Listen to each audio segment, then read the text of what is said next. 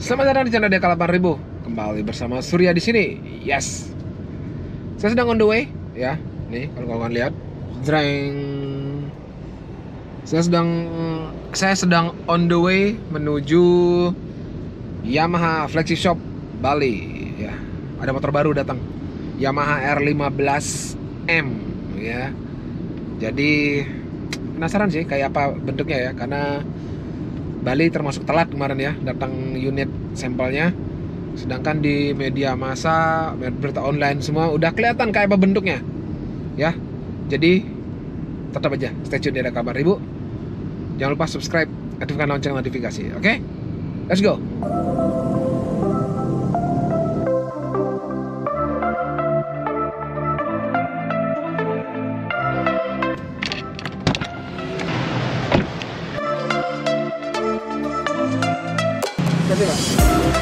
Kita berada sekarang di Yamaha Flagship Shop dan Pasar Bali ya di Jalan Diponegoro. Jadi ini dia tiga buah motor Yamaha R15M. Mana motornya beli? itu dia motornya ya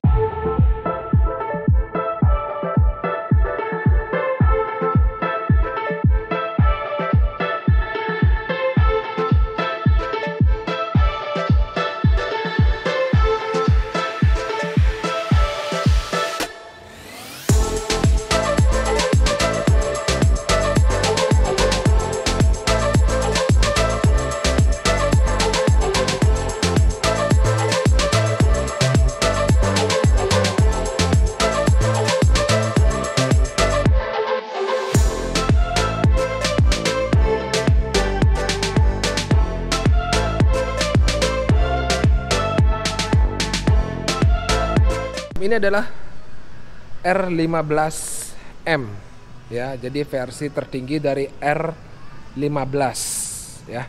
Ini ada kebetulan ada dua warna nih ya. Ini warna ini sama warna sana sama sih ya. Jadi warna yang silver hitam, velgnya biru ini dan versi yang Yamaha World GP ya, yang 60 tahun. Oke.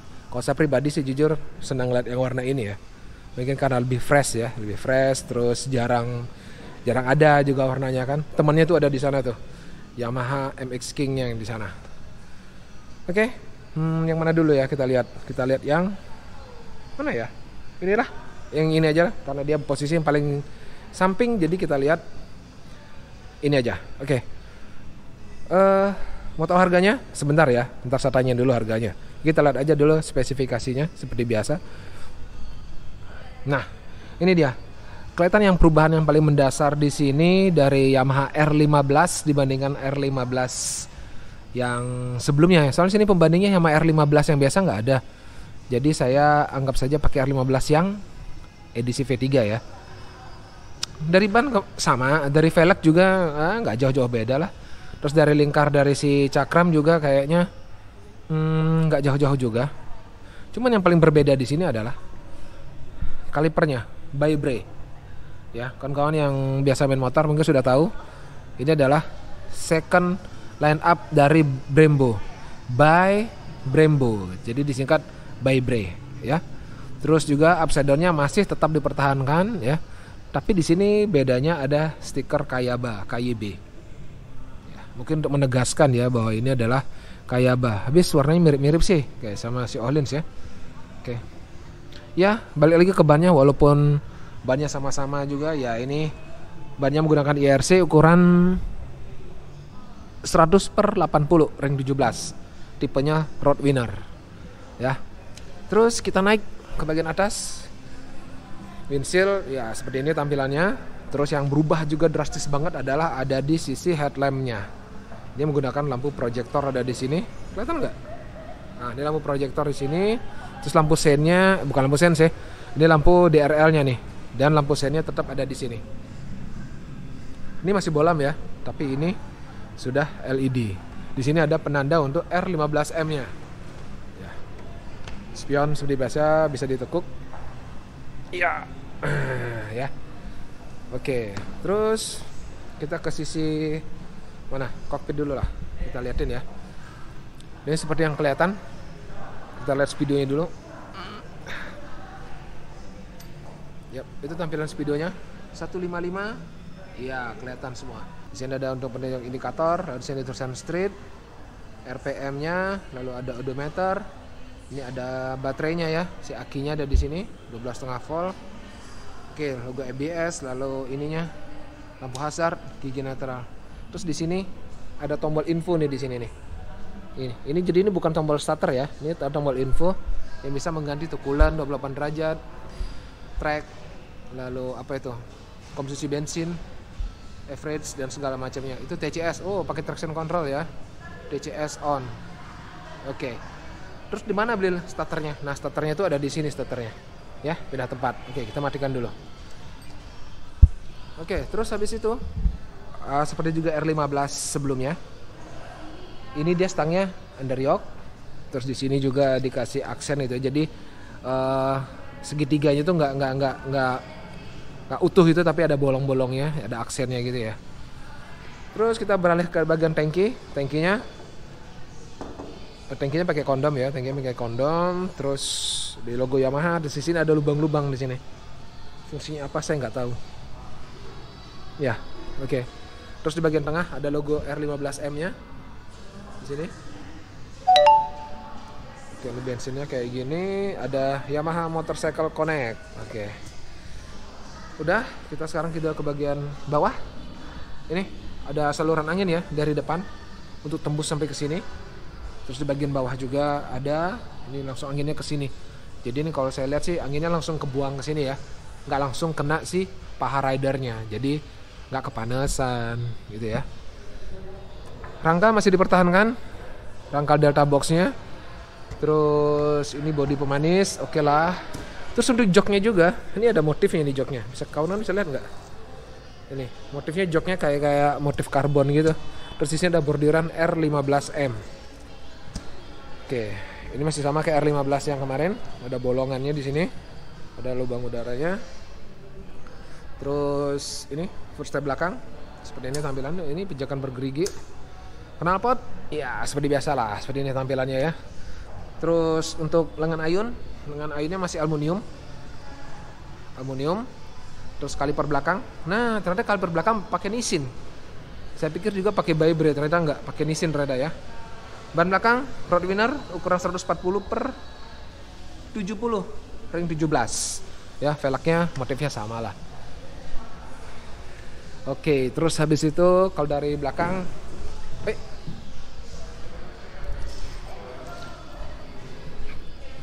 Lampu belakang masih sama seperti edisi yang lama. Ini udah LED, kalau ini masih balon. Terus iya nih kalau kamu bisa lihat lengan ayunnya ya. Lebih kelihatan dari sini, lebih berototnya. Ya. Terus apa lagi bisa dilihat? Itu aja. Ya. Sekarang kita lihat kalau yang versi World GP 60 tahun anniversary. Ya. Ini dia tampilannya, ya. Dominannya warnanya warna putih, dominan warna putih Terus untuk di bagian batok depannya itu ada kuningnya ini stiker ya, bukan cat ya. Ada kuning, ada sedikit warna aksen hitam. Di sini ada strip merahnya tulisan Yamaha R15M quick shifter segala macam. Ya, untuk bagian tengahnya juga ini manis banget. Tidak lupa disematkan logo 16 60 World GP Yamaha. Itu dia. Terus ini belakang bagian belakang masih sama aja. Ini ada bordiran Yamaha R15M masih tetap ada. Bedanya juga selain itu sama yang versi yang sebelumnya adalah versi yang ini warnanya. Warna velgnya warnanya emas. Jadi lebih matching ya. Matching sama warna ini body, matching sama warna si upside down. Cuman sini kok nggak ada stiker kayak banyak ya. Mungkin biar gak mengganggu kali ya. Biar kelihatan lebih clean gitu kali ya. Atau mungkin lepas, nggak tahu. Tapi registrasi kaliper semua masih sama, cuman beda livery aja. Nah ini juga uh, detail yang membuat R15M biasa ya, yang warna silver hitam ini berbeda sama si World GP adalah ini dari tutup si upside downnya. Kalau ini kan warnanya biru, ada tulisan R15M. Nah kalau yang World GP itu polos, polosan, nggak ada tulisan apa-apa, ya. Dan tadi saya coba menganalisa sama Pak Fikri, ini kenapa tidak ada logo Kayabanya, KYB, sedangkan kalau versi yang warna silver itu ada stiker Kayaba. Ini karena ini kan versi edisi untuk World GP ya. Sedangkan di GP sendiri Yamaha bukan tidak disponsori oleh Kayaba. Jadi ya stiker Kayabanya dicabut. Ya, itu pemikiran kami saja ya. Kalau aslinya sih nggak tahu kenapa nggak dipasang stikernya. Oke, nah ini yang akan kalian tunggu untuk harga ya. Kalau untuk harga Yamaha R15M versi yang ini itu harganya adalah 44 juta 800 95 Ntar biar jangan salah Mbak maaf mbak Gak apa-apa salah kamerain ya Itu harganya berapa ya itu mbak? 44 juta 800 Oh ntar masih dilihat contekannya Bener ya? 44 juta 895 ribu Kalau yang versi ini yang GP? 45 495 ya. Oke, makasih Mbak ya. Itu dia harganya ya lebih mahal lagi sedikit cuman memang lebih lebih limited ya kelihatannya ya lebih lebih rare gitu lah lebih oke okay tampilannya oke sekarang saya mau liatin ini tinggi badan saya ada 175 cm nah kalau duduk di atas motor ini seperti apa ya oke saya kalau gini minta bantuan dulu soalnya saya sendiri soalnya tunggu ya ini dia tinggi saya 175 cm berat 84 kg. Sekarang saya coba duduk di atas R15M. Lihat ya.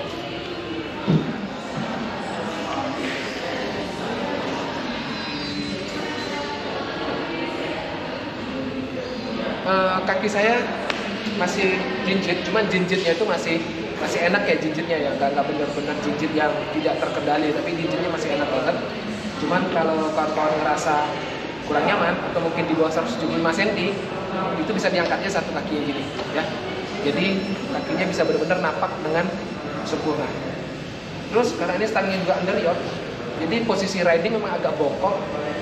Ya hampir sama lah sama yang R15 yang V3 kemarin ya jadi tapi tetap masih tergolong nyaman untuk dalam kota oke okay.